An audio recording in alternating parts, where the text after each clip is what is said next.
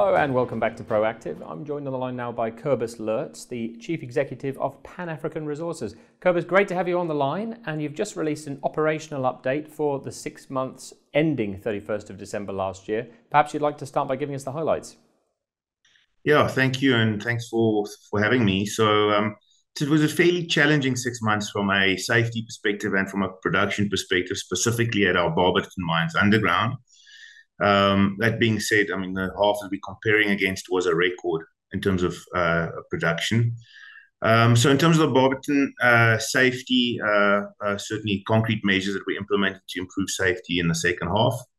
And then also um, on the uh, production side, um, we've managed to agree with our labor unions that we are converting the Barberton underground to uh, continuous operations. So um, we're very excited about what that means for the future from a production perspective and just sort of for the asset uh, in general. So we are guiding for a much improved uh, uh, performance in the second half of this financial year. And certainly uh, the rand gold price and the dollar gold price for that matter is also assisting us at this point.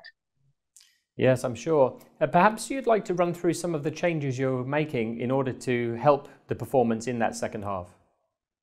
Sure. Well, uh, uh, before I do, I mean, it's uh, again, uh, it has to be mentioned that uh, the rest of the portfolio uh, performed pretty much in line with our expectations. So Elikhulu did very well, as did the BTRP, the other tailings operation we have at Barberton, and then also the Evander Underground delivered in terms of expectations. So on the Barberton Underground, what we're doing is we're converting our Fairview and Sheba mines to continuous operations. So instead of having um, eight hour shifts. We'll have 10 hour shifts. Uh, it'll give our uh, teams a lot more uh, face time, so to speak. So uh, we we certainly then have comfort in terms of achieving our blasts and our uh, generation of ore.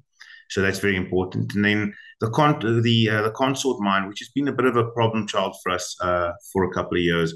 We're converting to a to a contractor mining business or operation. So reducing the overheads, focusing on our really high grade areas, and then also exploration and development into some of the uh, other existing known ore bodies. Um, and um, what all of this means is that we can increase production and we don't have to retrench any of our people at this point. So I think overall it's, it's quite a favorable outcome.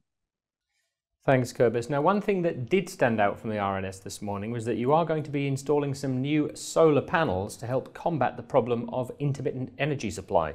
What can you tell us about that?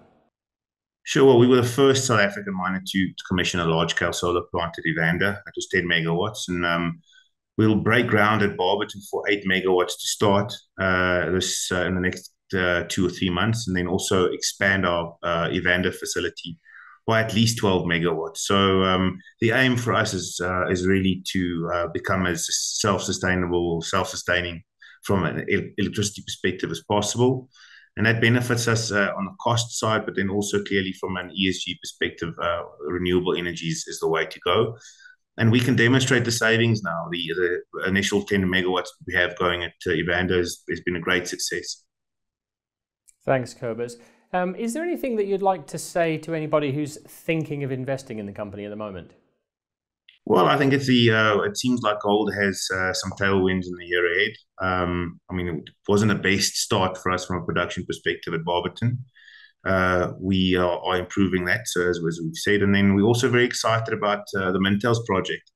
So that'll be another large-scale tailings retreatment business. Um, uh, quite significant capital, about 140 million dollars, but um, uh, you know, you're going to be producing gold at uh, at sub a thousand dollars all in sustaining, and it's a long life asset. So we're really keen to get going on Mintails, and and that can significantly improve our our production in the years ahead. All right then, Cobus. Well, we'll leave it there, but thank you very much for the update. It was a pleasure to have you on, and best of luck for the rest of the financial year. Thank you very much. Look forward to speaking soon.